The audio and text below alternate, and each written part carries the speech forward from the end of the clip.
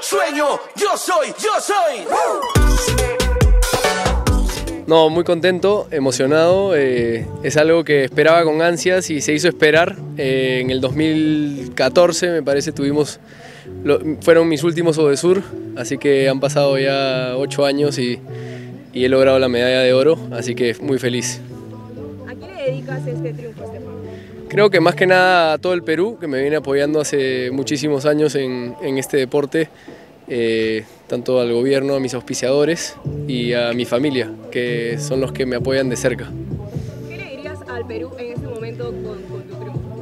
que sueñen bastante, eh, porque los sueños se cumplen, pero si es que se persiguen. Y, y nada, que salgamos adelante de, de todas las situaciones en las que podríamos estar y, y- y que nos, juntos vamos a salir adelante siempre.